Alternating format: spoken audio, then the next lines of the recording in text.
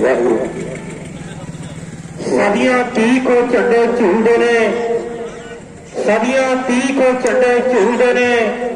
ਉਹ ਪਰਚਮ ਆਕਾਸ਼ ਤੇ ਸਰਕਦੇ ਨੇ। ਜਿਸ ਵਿੱਚ ਨਾੜ ਸ਼ਹੀਦਾਂ ਦੀ ਚੱਲਦੀ ਏ, ਜਿਸ ਵਿੱਚ ਜਿਲ ਦਿਨ ਸਹੀ ਸੱਚੀ ਸ਼੍ਰੋਮਣੀ ਜਰਨੈਲ ਹਿੰਦ ਦੀ ਚਾਦਰ ਨੂੰ ਆਪਣੀ ਚਾਦਰ ਵਿੱਚ ਲਪੇਟ ਕੇ ਲਿਆਉਣ ਵਾਲੇ ਅਮਰ ਜੋੜੇ ਬਾਬਾ ਜੀਵਨ ਸਿੰਘ ਜੀ ਦਾ ਸ਼ਹੀਦੀ ਜੋੜ ਮੇਲਾ ਆਪ ਸਭ ਦੇ ਸਹਿਯੋਗ ਨਾਲ ਮਨਾਇਆ ਜਾ ਰਿਹਾ ਹੈ। ਨਗਰ ਕੀਰਤਨ ਇਸ ਪੜਾਅ ਤੇ ਪਹੁੰਚ ਚੁੱਕਿਆ ਹੈ। ਬਹੁਤ ਤੱਜਾ ਤੰਗ ਇਥੋਂ ਦੀਆਂ ਸਮੂਹ ਸੰਗਤਾਂ ਨੇ ਕੀਤਾ ਹੈ। ਕੋਟਰ ਕੋਟ ਧੰਨਵਾਦ ਕਰਦੇ ਹਾਂ। ਢਾਡੀ ਜਥਾ ਸਰਦਾਰ ਹਰਵੰਸ ਸਿੰਘ ਜੀ ਸੰਘੇੜਾ ਸਾਹਿਬ, ਉਹਨਾਂ ਨੂੰ ਮੈਂ ਬੇਨਤੀ ਕਰਾਂ ਕਿ ਇੱਕ ਪ੍ਰਸੰਗ ਕਹਿ ਕੇ ਇੱਥੋਂ ਅਗਲੇ ਪੜਾਅ ਲਈ ਰਵਾਨਾ ਹੋਵਾਂਗੇ। ਢਾਡੀ ਜਥਾ ਹਰਵੰਸ ਸਿੰਘ ਜੀ ਸੰਘੇੜਾ ਸਾਹਿਬ।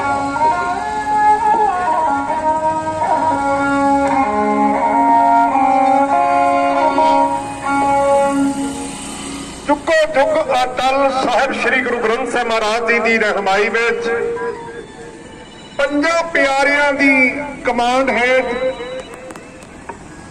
ਔਰ ਸੁਲਝੇ ਹੋਏ ਬੈਂਡ, ਮਾਸਟਰ ਬੈਂਡ ਦੀਆਂ ਧੁਨਾਂ ਗੱਤਕੇ ਦੇ ਜੋਰ ਸ਼ਬਦ ਦੀ ਧੁਨ, ਸੰਗਤ ਦਾ ਠਾਠਾ ਮਾਰਦਾ ਇਕੱਠ ਮਾਲਵੇ ਦੇਸ਼ ਦਾ ਪ੍ਰਸਿੱਧ ਨਗਰ ਸੰਦੌੜ, ਇਸ ਨਗਰ ਦੀਆਂ